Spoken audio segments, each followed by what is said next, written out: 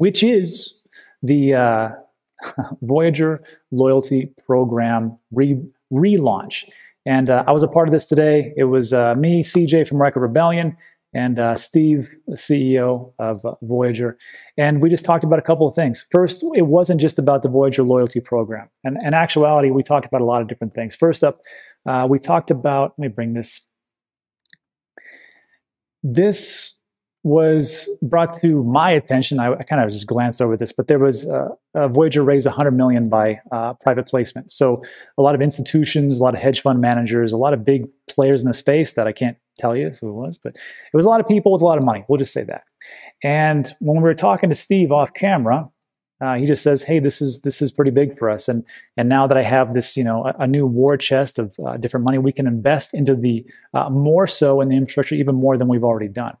So when I was thinking about this and I saw this, I was like, "Okay, Steve, that's great that they invest into that." And I asked them before camera and I asked them on camera, and I will link this this uh, interview at the at the end. But I said I'm worried because you know you have to understand like like Alex and CJ and of course Steve, they're all institution side, right? And I'm all I am just retail. I'm just like you. I just I don't have a ton of money. I just do my do my best. And I'm like, when I see a bunch of institutions coming in and they're investing into, uh, I mean, Bitcoin is one thing, they're going to put on their treasury and their and their uh, balance sheet. Sure, I'm good with that. But when I see a bunch of people come in and they're investing into VGX, into Voyager, and what's going on, I'm like, what do you mean about that? Is is for the, for us is that going to be like a big rug pull at some point? They're going to invest into well first they're going to invest into voyager the company the public traded company but that's going to go a long way for you know uh, for vgx and token. He goes no he goes he goes these guys and just watch the video. He's like a lot of them come to me and go you know what? We've got no short position. Uh, we've tried it. Didn't work out too hot for us. We don't have that um, that confidence to go around this round with you. So we are going to be in here for the long haul. And I asked him, what was the sentiment? I mean, how'd you feel about it? How, what, what, did you get from him? He goes, you know what? All these guys are solid. All these guys and gals are solid. And they really want to partner with us because they see the future. And he goes, and that's what we're really uh, impressed about. They brought in a lot of money. He goes, we had to stop. He goes, I'm sure we'll do another funding at some point. He goes, but uh, that's what we got. So to me, I'm like, that's great. If you got a lot of people who are, uh, again, smart money, hopefully smarter than JP Morgan. Uh, and they say, hey, we see wh- where things are going. We want to be a part of this train. Uh, let's just game on. I'm down with that. So there was that part. The second thing that was asked was, of course, the waiting list. I know uh, if you're on the waiting list, uh, sorry, it is what it is, right? And uh, he broke down some numbers. He goes, look, we've got about 106 million, no, sorry, 106,000, 106 million, Jesus, 106,000 uh, funded accounts that were actively trading before everything went off with Wall Street bets, and uh, and then we got this massive influx of around 250,000 in four days. He goes, we didn't see that coming. He goes, but now we see exactly where we're going. And, and he's like, we're, we're gonna we're gonna upgrade, we're gonna do some infrastructure and things like that. And I was like, okay, Steve, that's great. You know, you're talking about infrastructure and doing these things. This is the same thing he told us last time. So I need specifics, man. And you got to tell me what, what's going on. Not that he owes me anything. I just ask the questions, right? And he goes, yeah, yeah. He goes, fair enough. He goes, to alleviate the problems, he goes, we brought in the team from Uber. Uber had the same type of issue. They had a massive scaling issue, and they had to bring in some some really uh, high tech, high high speed individuals, and it was a big, massive team. He goes, we're bringing that same team in, and he said, what our goal is is for 10 million users. 10 million users. 10 million users. He goes, so, you know, we have 106,000 funded right now. We got, you know, 240 that, that came in. He goes, but we see 10 million. Okay. So, uh, so we talked about that. I, I, sorry, I can't stress that enough. I mean, 10 million, uh, that's a ton. Like, I, I think Robinhood, we're thinking at uh, six, 8 million, somewhere around there. He's thinking about 10 million. he's talking about this year. That's pretty big. So, what does that mean for the token? Well, First of all, uh, I asked him a question. Go, Steve, what about this ERC20? Because your your VGX token is it's an ERC20, and right now that's bad news. Not bad news, but it's it, it's expensive. And I said, what, how about transferring it over to a Cardano or some other network? And he goes, you know what? He goes, we're thinking about that. He goes, we could do that. And now that we have 100 million, we have a lot of options to do it. He goes, but we're also looking at Algo because that's one of our partners. And uh, he goes, we might do one of those things. He goes, uh, it's up in the air right now. I was like, okay, great. So that was just that part. Pretty happy about that. Now let's get into the very next part, which I think is probably the, the more important one, which is the loyalty program, because that's what it really all comes around to. And if you haven't been around for why I talk about these loyalty program and tokenomics and utility, then I just have to ask you a question. What do you invest in and what does that token do? Like right now, today, what does it actually do for you? You know, I, I don't know what you're invested into, like uh, Tomato Coin puts Marinara on the blockchain. I don't know what it is. But what does your token do? What is it doing? What are people building on it? And if you can't really answer that question, then it is a highly speculative asset, right? But if it's actually doing something, that puts you out, you know, that that much farther. I want to show you. So the question to me always is, why is Binance Coin going up so much? It doesn't make any sense, right? What does it do? Is it a currency? Eh, not really. You know, what is it just, you know, for the for the the uh, the exchange? Well, here's the thing. Uh, Binance Coin has gone up uh, amazingly uh, in the last, well, let's just take let's just take seven days, 14%. 14 days has been up 200% in two weeks, 200%. 30 days, 253, and a year, 424. Why has that happened? It's because of utility. Utility and what it does. So if you own a bunch of, or just you own, you own BNB coin, right? And we, we covered this a couple of days ago. I'm not going to beat this down to the pulp, but you can save on fees. You can stake it. You get a, a good interest rate.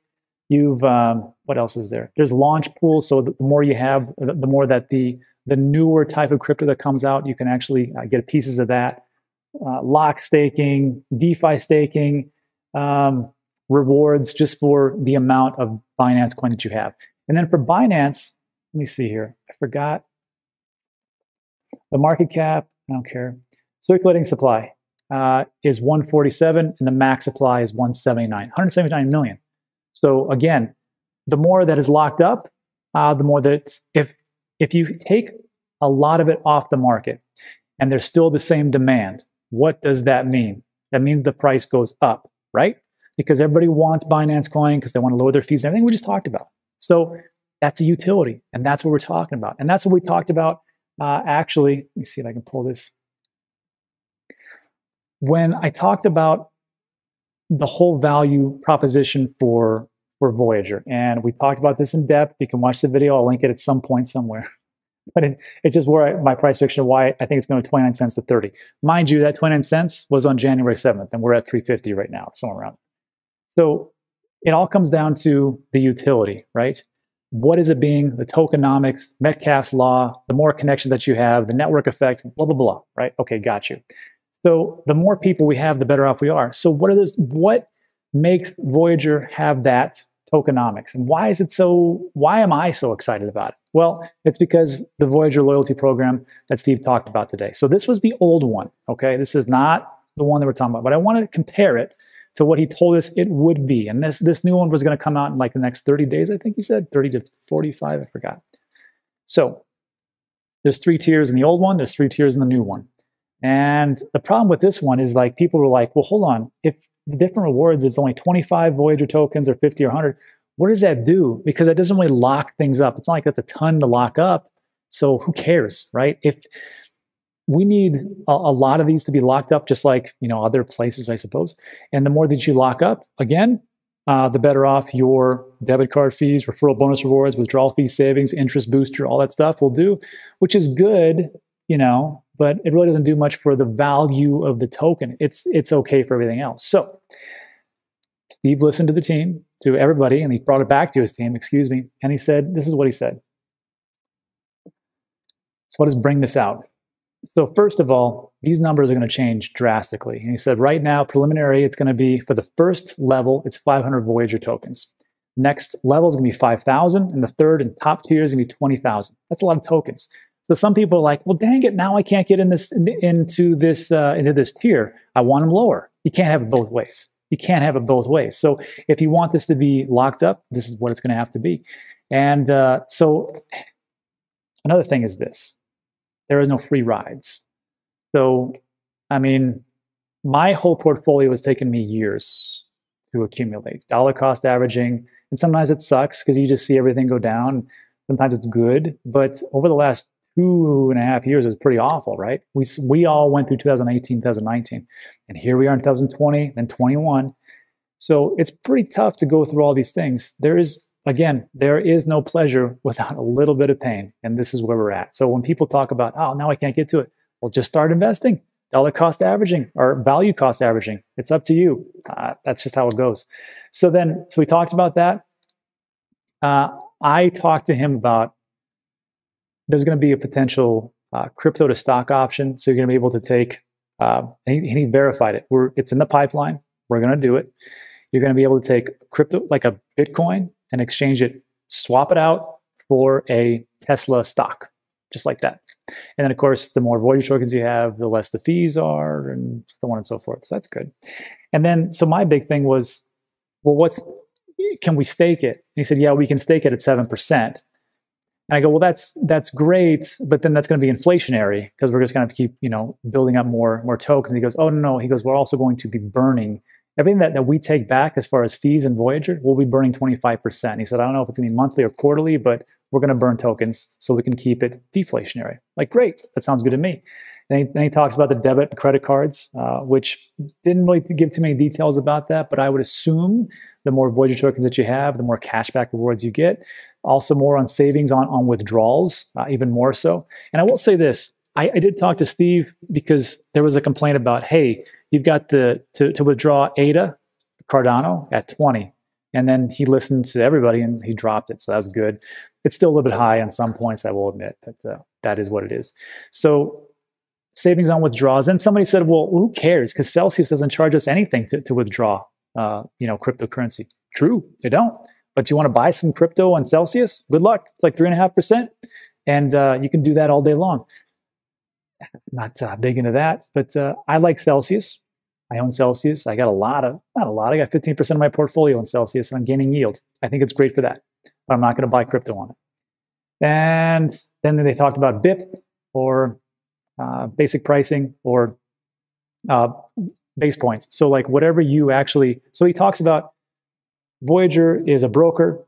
They will find the best price for an exchange, depending. It's not always going to be the fantastic, great price, but it's pretty good so far. I can tell you it's way better than Coinbase. And then on top of that, depending on your level, you're also going to get uh, base points back for whatever you spent. So the more you trade, the more you actually get back. And then, um, oh, the uh, 106,000 funded accounts. So I think just take a look at this real quick and just think to yourself, how does this compare with with a Binance, with another type of uh, token like a SwissBorg or something like that? Do you think that this token could compete with uh, a Binance token and what it does? And do you think it'll stay at $3.48 for 2021? Let me just in the comment section. And uh, that is essentially it for that piece.